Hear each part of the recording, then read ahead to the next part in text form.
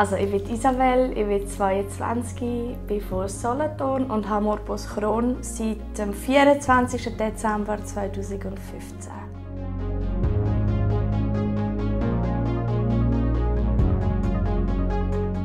Also im Jugendalter habe ich es mega schwer gefunden. Ich habe nicht gewusst, wie damit umgehen. Ich war mega überfordert. Ich war einfach grundsätzlich überfordert mit mir selber. Nach der Lehre bin ich dann in eine Schmerzklinik gegangen, weil es mir so schlecht gegangen ist, eben auch durch die anderen Krankheiten. Und durfte dort drei Monate kuren. Und das hat mir mega gut getan. Dort konnte ich auch mega viel lernen. Und dann ist es eigentlich immer mehr bergaufwärts gegangen. Ähm, ich bin selber noch viel reisen. Ich habe mega Selbstvertrauen bekommen und rede mittlerweile mega offen darüber. Also, ja, am Anfang konnte ich nicht sagen, ja, ich habe Morbus Crohn oder beziehungsweise ich konnte es sagen, aber ich konnte es nicht erklären, weil es mir unangenehm war. Und mittlerweile mache ich sogar Witze darüber und ja, also mega cool. Ich habe durch die Krankheit so viel lernen Ich wäre jetzt nicht der Mensch, wenn ich die Krankheit nicht hätte. Und ich finde, ich wäre nicht so ein cooler Mensch, wenn ich die nicht hätte. Ich hätte nicht so viel lernen und das hat mich sehr weitergebracht, auch in meiner Reife etc. Genau.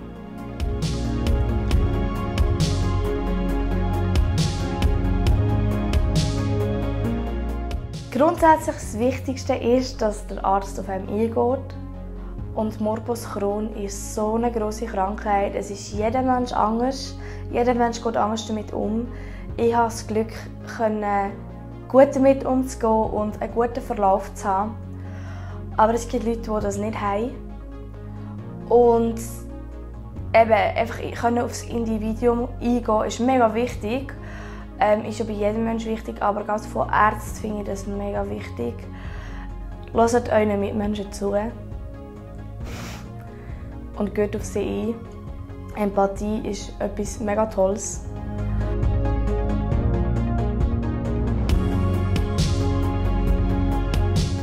Es ist so eine individuelle Krankheit. Bei mir ist es jetzt mega gut rausgekommen. Ich darf jetzt Humira, also das Immunsuppressiva, ähm, absetzen. Ich ähm, habe noch ein Medikament. Früher hatte ich bis zu 18 Medikamente.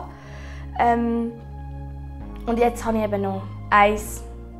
Und ähm, es gibt auch positive Verläufe. Es, gibt, es kommt nicht nur schlecht raus.